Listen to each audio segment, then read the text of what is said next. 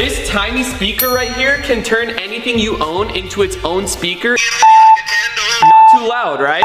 But if you attach it, we're gonna use the touchscreen toaster.